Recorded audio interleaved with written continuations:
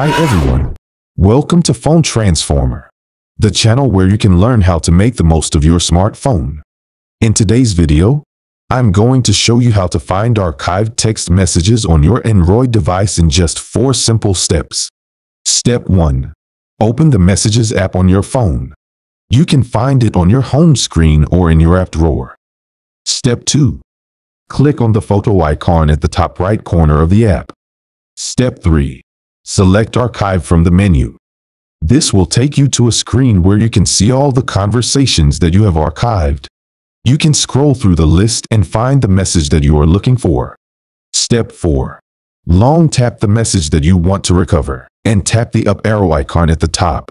This will unarchive the message and move it back to your main inbox. You can now view and reply to the message as usual. And that's it. You have successfully found and recovered an archived text message on your Android phone. I hope you found this video helpful and informative. If you did, please give it a thumbs up and subscribe to my channel for more tips and tricks on how to transform your phone.